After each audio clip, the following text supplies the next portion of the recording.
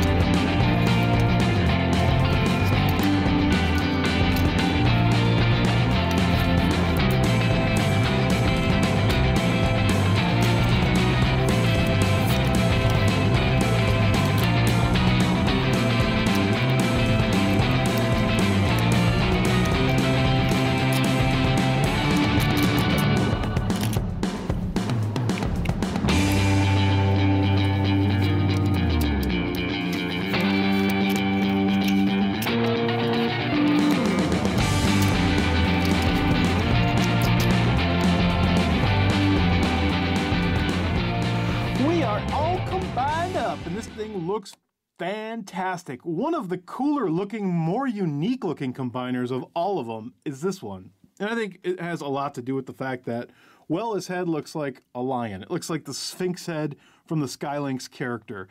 And it's awesome. It's just, it's cool. It's really cool. I love it. This thing reminds me of Voltron, and that's kind of why I'm thinking I like it so much. Um, it, it, it does it for me. It's very unique. It's unique to the other combiners, I should say, because of the animal head as opposed to like the robot head or some of the other ones we're traditionally used to seeing. So I'm all about this thing. I didn't know if I was going to like it. I wasn't even going to get it, but yep, I think it does it for me. I think it's cool. Sky Lynx in particular uh, transforms in a very cool way. You kind of saw what I was doing there. To, to make that body uh, for a combiner is really neat. Uh, it was unique from all the other ones, which are a lot of repaints and remolds at this point. So um, uh, it's a refreshing one to have. I'm going to do some comparisons, but I do want to zoom into that face because it is cool.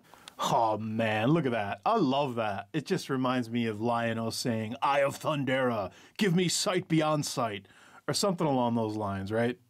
Or go Voltron Force. Yeah. The instructions, they don't mention him or show him with any kind of weaponry. Maybe on some of the different versions, but I'm going to give him Sky Lynx's swords, which now looks like he's wielding a pair of, well, a couple of daggers, like it's a West Side Story or something. Now, just like any of the other combiners, what I've done is I've taken all the accessories for the other guys, all their little rifles and axes and whatnot, and I've stuck them in all the ports all miscellaneously about him. So now I'm storing all of my individual guys' weapons as well as displaying this beast. It's Sky Reign versus Betatron. In the comments below, who looks better and who would win this fight? Or how about Sky Reign versus Defensor? Same question as before. Comment below. And the last Combiner War battle, Potato Head Grimlock versus Sky Reign. So to wrap it all up, folks, do I recommend this one? Yeah, if you're looking for uniqueness, I think this guy takes the cake. Sky Lynx is a unique character, so he made a very unique body for the rest of these guys. Now, these are all Scramble City limbs, so you can mix and match whoever you like to uh, plop onto the Sky Lynx's body uh, once it's there. So uh, make your own combiners. That's the whole point of this, is to use your imagination and have some fun. I love this head. I love this head. It's so cool. And it does turn, too. I didn't show that off. Look at that thing. That's it for me, folks. Take care. Thanks for watching. Don't forget to hit that subscribe button for more Transformers videos and I will be back shortly with a very special combiner that I've been looking forward to to show you for a long time. I'll see you guys. Arrivederci.